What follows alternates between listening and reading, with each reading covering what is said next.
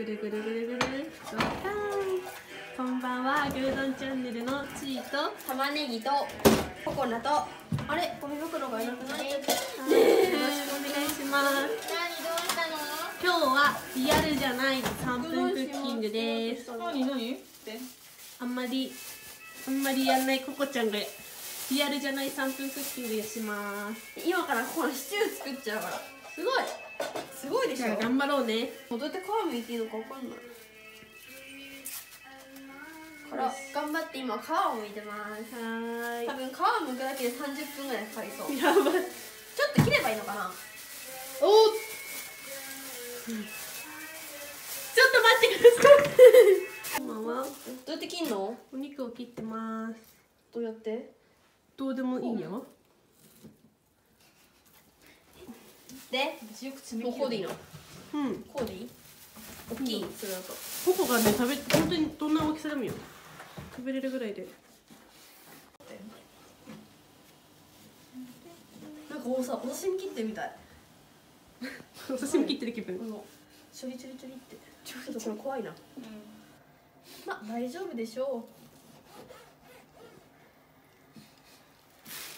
う。大きくていいか。クッキーをさえますそうです。私が切ったんです。です今炒めてます。うん。ねみんな7月15日何してる？覚えてない。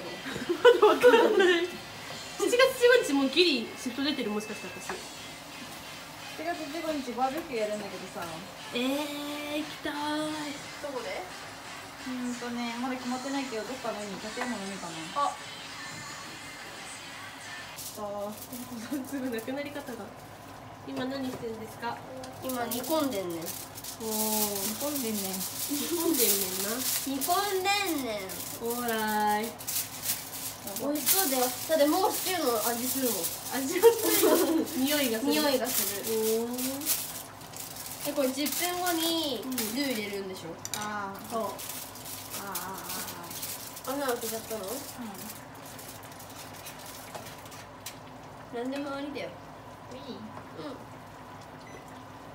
うん。おーいい感じ。いい感じ？あシチュイエーイ。ーいいね。美味しそうですか？美味しそう。美味しそう。お肉めっちゃいっぱい。いいね。コロコロコロコロ。イエーイ。3分でできました 何そ